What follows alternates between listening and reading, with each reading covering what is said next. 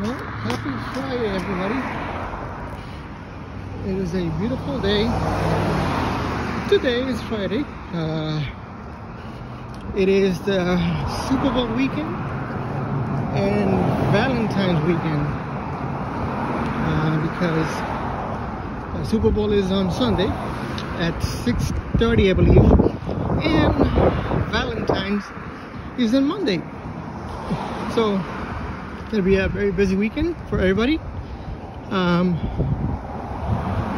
yeah, a very expensive weekend for most for uh, for, for most people.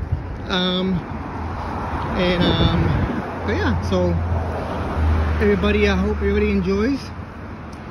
If you have a special someone, wife, husband, girlfriend, boyfriend, make sure you do the right thing. Um, if you have reservations or something, you should have done that a long time ago, but I think you still maybe, depending on the restaurant, you may still have time. So make sure you do your due diligence and um, do what you need to do. So have a good weekend, everybody, and um, blessings to you all. Frankie out.